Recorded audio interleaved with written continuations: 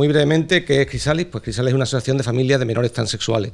Es decir, un grupo de, personas que tienen un hijo o una hija transexual o un hijo, también sabe que se usa un poco la, terminación E para incluir toda la, variedad de, realidades sexuales o de género, que bueno, eh, lo, que hace es bueno, reunirse para compartir experiencias y eh, ayudarnos en, cómo afrontar estas situaciones que, con las que nos encontramos de una forma siempre inesperada.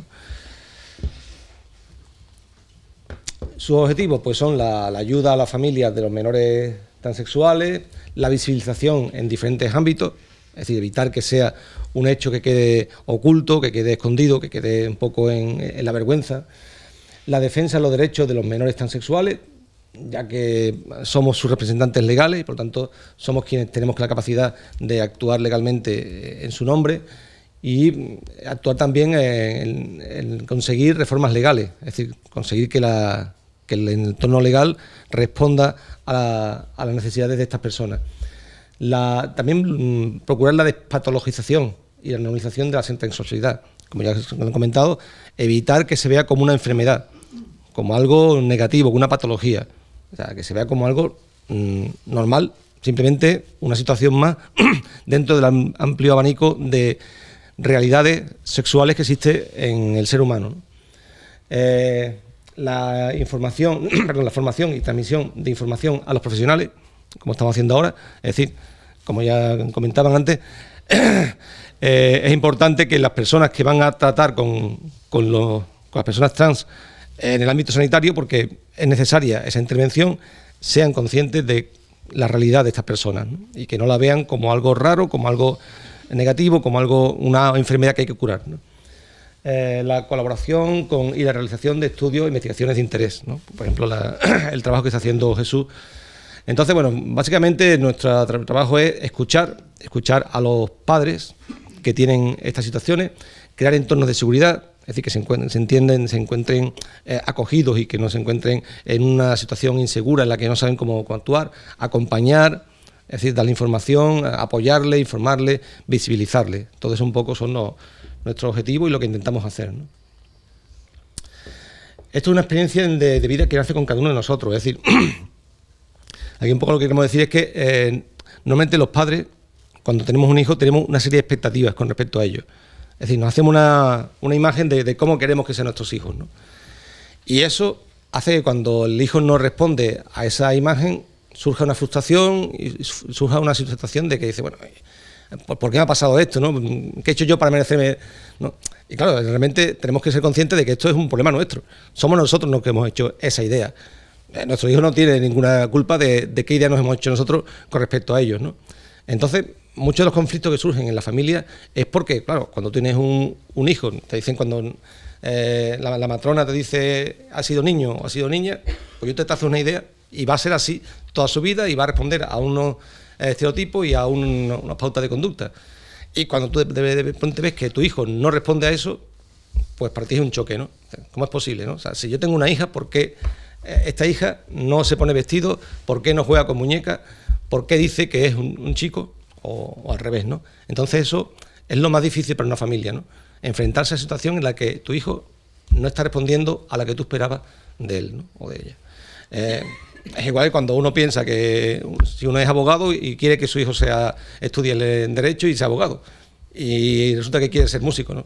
Pues también eso provoca un, conflicto muchas veces en la familia, ¿no? ¿Por qué? Porque queremos que, que la realidad se adapte a nuestra expectativa y no somos capaces de aceptar la realidad. Entonces, lo más importante para la, familia es aceptar esa realidad y entender que no se trata de una tragedia ni de un ni, que nuestros hijos nos están decepcionando, sino que es lo que hay y tenemos que, asumirlo y ayudar a nuestros hijos a que alcance la felicidad, que debe ser el objetivo fundamental de, cualquier padre. Bien, esto es algo que seguramente ya, ya se ha hablado muchas veces, la diferencia entre lo que es la identidad, la orientación sexual, la genitalidad y la expresión de género. Entonces, bueno, es una de, los, las causas de conflicto es la confusión que existe en la sociedad en general entre estos conceptos y cómo los mezclamos y como sabemos pensamos que las cosas tienen que ser blancas o negras y hay que ser hombre o mujer, hay que ser eh, heterosexual o homosexual. Entonces, bueno, eh, mientras que no consigamos entender que son un conjunto de, factores que se pueden dar mezclados en múltiples combinaciones y que todas ellas pueden ser válidas y todo ello significa que son personas y todas esas personas deben ser respetadas, pues hasta que eso no, se, asuma por toda la sociedad tendremos este tipo de, problemas. ¿no? Por eso es muy importante que seamos capaces de, transmitir, en este caso desde los profesionales de la, de la, salud, esta realidad de estas múltiples eh, eh, conceptos que intervienen en la configuración de la identidad de sexual y de género de, las personas. Entonces, bueno, este, este, esta frase está sacado de una guía que, ha hecho, que ha elaborado Grisali, que le, pongo el, enlace al final. Dice bueno que insistir en descifrar la identidad sexual de, esta, de una persona en base a su orientación sexual, su expresión de género o sus características físicas es una práctica que genera sufrimiento y nos aleja de la realidad. Es decir, si nos empeñamos siempre en catalogar a las personas dentro de una categoría específica, sin tener en cuenta esa amplia variedad de situaciones que se dan, pues vamos a, producir sufrimiento a las personas porque vamos a decirle, tú no encajas, tú no eres lo que deberías ser. Bien, las personas, hay, que distinguir lo que somos las personas cisexuales, es decir, aquellas personas a las que se les asignó un sexo al nacer que coincide con su identidad sexual, que estadísticamente somos la mayoría, y las personas transexuales, que son a las que se les asignó un sexo al nacer, pero cuando esas personas toman conciencia de su identidad sexual, resulta que no coincide con lo que se les asignó. ¿no? Y la identidad sexual, pues el sexo psicológico subconsciente, sentido como propio por cada persona de ser un hombre o mujer, o las dos cosas, o ninguna de las dos, que eso también es importante, ¿no? Es decir, no todo el mundo se siente hombre o mujer. Hay personas que, por lo que sea, no se consideran hombre o mujer exactamente. Se consideran que comparten los dos sexos o no comparten ninguno de los dos, ¿no? Es complicado porque nuestra eh, estructura mental está hecha a admitir solo la dualidad hombre-mujer, ¿no? el yin y el yang. Pero existe esa realidad y eso hay que entenderlo y que bueno, está perfectamente válida porque al fin y al cabo cada uno se siente como se siente y, vive como vive, ¿no? Bien, eh, ¿cómo podemos darnos cuenta de que nuestro hijo o nuestra hija no se corresponde con lo que pensamos que era. Bueno, hay una serie de, señales y pistas, ¿no? los juegos, las preferencias, la ropa, las actividades, las primeras verbalizaciones. Desde los dos o tres años ya pueden empezar a expresar que no se identifican con el sexo asignado al nacer. Pero claro, esto es un, problema para los padres, porque ¿cómo sabemos que realmente, porque nuestro hijo diga, nuestro, hijo eh, varón, que, que nos han dicho que varón juega con muñeca, eso significa que es transexual? Pues, ¿cómo podemos saberlo? Eh, la única forma es observar conductas eh, con una cierta continuidad. Es decir, que un día un, chico, varón biológico, juegue con muñecas, por sí mismo no significa nada. Ahora, si es algo continuo y además empieza a decir yo no soy un chico, yo soy una chica, entonces cuando empezamos ya un poco a, tomar más en serio esta, cuestión. Pero claro, estamos hablando de niños que además los adultos siempre Mm, los mismos valoramos, ¿no? Entendemos que, bueno, que son cosas de niños, son, están jugando, son tonterías, ¿no? Entonces es un poco lo más complicado para un padre, ¿no? Es decir, ¿hasta qué punto tengo que darle credibilidad a lo que estoy viendo, lo que me están diciendo mi hijo, ¿no? Por eso tenemos que tener la mentalidad abierta para que, bueno, esto puede ser, pero tampoco tenemos por qué asignarle automáticamente la etiqueta de transexual porque observemos un par de cuestiones o un par de, de conductas, ¿no? Lo, malo es que, claro, la mayoría de los padres no somos psicólogos, ni somos profesionales de la, sanidad, ni, tenemos una formación en esto. O sea, nadie nos enseña a ser padre, desgraciadamente. Entonces, eh, ahí está la, complejidad, ¿no? Si pasa con otras cuestiones, como yo que sé, pues la, adicción a las drogas, que muchas veces no nos damos cuenta de, que nuestro hijo está siendo adicto a las drogas, y cuando son incluso mucho mayores, pues estas cuestiones que son incluso más sutiles, es complicado, ¿no? Entonces, bueno, pero bueno, hay, hay pistas que se pueden, que se pueden ver y, es importante tener esa, ese conocimiento. ¿no? Entonces, bueno, eh, es importante el acompañamiento respetuoso en la familia, es decir, acompañar y brindar un espacio seguro para que el hijo investigue y pueda encontrar y desarrollar su verdadera identidad sexual. Es decir, no castigarle en el momento en que vemos que está expresando una identidad que no se corresponde con la que esperamos, no decirle tú eres tonto, déjate tontería, O sea, un poco darle, abrirle la, posibilidad de expresarse, ¿no? Y proteger y, apoyar a las personas menores que, que están a nuestro cargo, ¿no? Es decir, es nuestro, nuestro derecho y nuestro deber como padres protegerlos y apoyarlos en todo momento. Y, lo que nunca puede hacer un padre es rechazar a un hijo porque exprese una identidad que no se corresponde con la que el padre eh, espera. ¿no? Realmente la única persona que nos va a poder decir cuál es la identidad de nuestro hijo o nuestra hija es el mismo o ella misma. Es decir, tenemos que escucharlo. Ni siquiera un psicólogo o un médico nos va a poder decir si nuestro hijo es eh, chico o chica o, nada de eso. Es lo, que nos diga y cómo actúe lo que realmente nos, nos dice qué es lo que está pasando. Entonces, bueno, pues mi hijo dice que ¿no? Eh, en la primera infancia la verbalización es directa y sin filtro. Se nombran directamente por el género que corresponde a su identidad sexual. Es decir, cuando son muy pequeños, como no tienen eh, ese condicionamiento, ese prejuicio, pues ellos dicen, pues yo, soy chica, por mucho que nosotros la veamos como un chico, ¿no? ¿Por qué? Porque no, no tienen prejuicio, no, no tienen ningún problema, dicen lo, lo que sienten, ¿no? Nos podemos encontrar con expresiones más elaboradas, como hechas en el futuro, cuando yo sea mayor, o en condicional me gustaría, o incluso en forma de negación, yo no soy. Entonces, todas esas cuestiones es importante tenerlas en cuenta. Ya, ya decía antes, no porque lo hagan una vez, sino porque sea una conducta eh, permanente en el tiempo y repetitiva. ¿no? Muy frecuentemente la, persona es capaz de manifestarse de forma clara a pesar de contar muy pocos, muy pocos años. ¿no? Es decir, me, consta, no, es el caso de mi hijo, mi hijo, mi hijo no, lo verbalizó hasta los 16, sí, tardó bastante. De hecho, ya ni siquiera era menor desde el punto de vista médico. Pero eh, sí que conozco muchísimos casos en, nuestra asociación de niños de 2 3 años que te lo dicen claramente y además con una seguridad absoluta. ¿no? Entonces, claro, eh, se ve que, no, hay que decir que, que son niños y no, saben lo que dicen. Sí que lo, sí lo saben. ¿no? Por tanto, es eh, escucharse sin limitar, atender a lo que nos dicen y darles respeto y seguridad. Es fundamental. Entonces, claro, como comentaba antes, lo más difícil es que el, el, entorno adulto desaprenda, que olvide sus expectativas y estereotipos para aceptar a esta persona tal y como es. Tenemos que ser nosotros los que cambiemos, no, ellos los que cambien, sino nosotros tenemos que aprender a mirar y escuchar el afecto, tenemos que superar los prejuicios, escuchar, empatizar, respetar y aceptar, y todo eso es lo que entendemos por acompañar al, menor.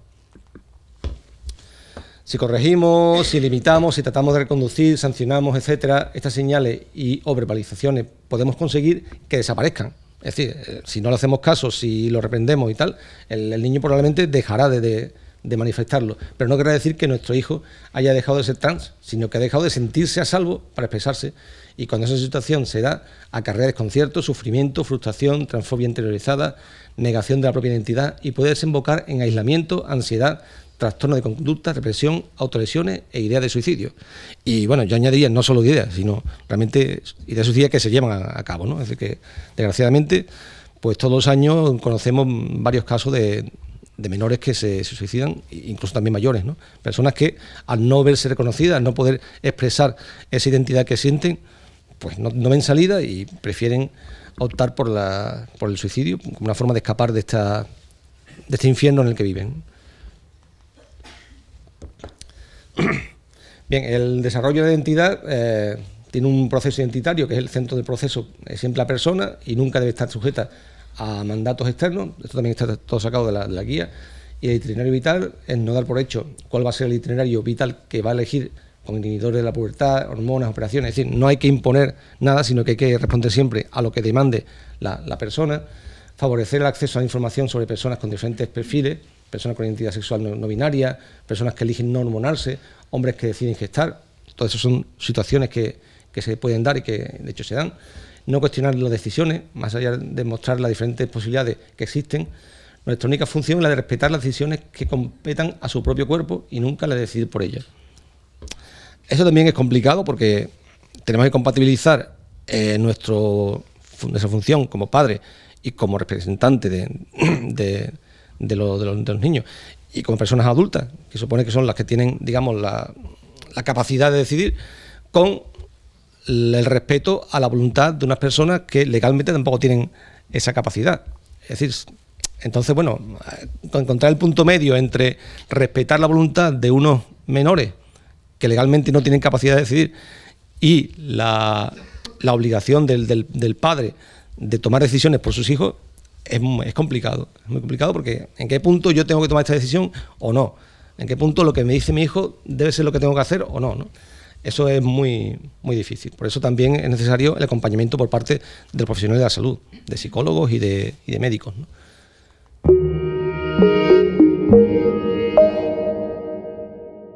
Muy brevemente, ¿qué es Crisalis? Pues Crisalis es una asociación de familias de menores transexuales. Es decir, un grupo de, personas que tienen un hijo una hija eh, transexual o un hijo, también sabe que se usa un poco la, terminación E para eh, incluir toda la, variedad de, realidades sexuales o de género, que bueno, eh, lo, que hace es reunirse para compartir experiencias y ayudarnos en, cómo afrontar estas situaciones que, con las que nos encontramos de una forma siempre inesperada.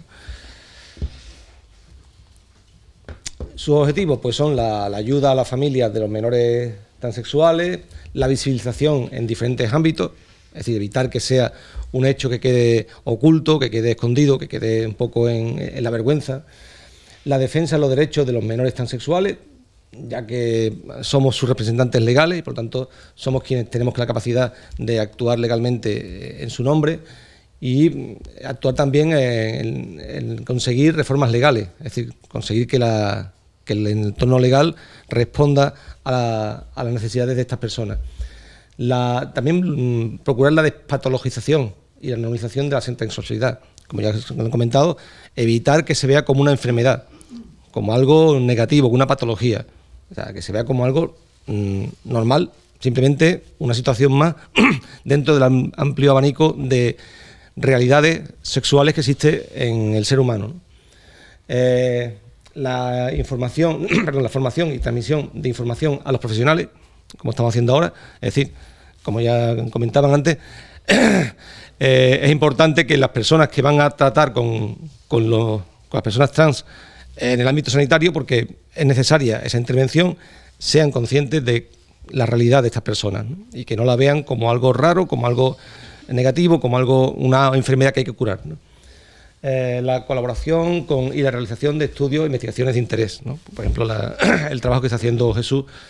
Entonces, bueno, básicamente nuestro trabajo es escuchar, escuchar a los padres que tienen estas situaciones, crear entornos de seguridad, es decir, que se, entienden, se encuentren eh, acogidos y que no se encuentren en una situación insegura en la que no saben cómo, actuar, acompañar, es decir, darle información, apoyarle, informarle, visibilizarle. Todo eso un poco son nuestros objetivos y lo que intentamos hacer.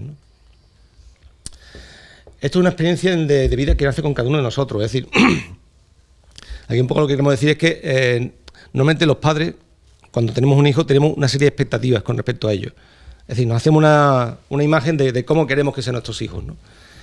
Y eso hace que cuando el hijo no responde a esa imagen, surja una frustración y surja una situación de que dice, bueno, ¿por qué me ha pasado esto? ¿no? ¿Qué he hecho yo para merecerme? Y claro, realmente tenemos que ser conscientes de que esto es un problema nuestro. Somos nosotros los que hemos hecho esa idea. Eh, nuestro hijo no tiene ninguna culpa de, qué idea nos hemos hecho nosotros con respecto a ellos. ¿no?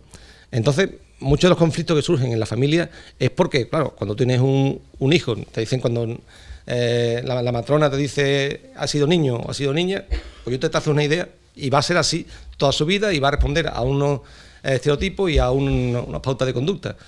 Y cuando tú de, pronto ves que tu hijo no responde a eso, pues para ti es un choque, ¿no? ¿Cómo es posible, no? O sea, si yo tengo una hija, ¿por qué eh, esta hija no se pone vestido? ¿Por qué no juega con muñeca? ¿Por qué dice que es un chico? o, al revés, ¿no? Entonces eso es lo más difícil para una familia, ¿no? Enfrentarse a situación en la que tu hijo no está respondiendo a la que tú esperabas de él o de ella.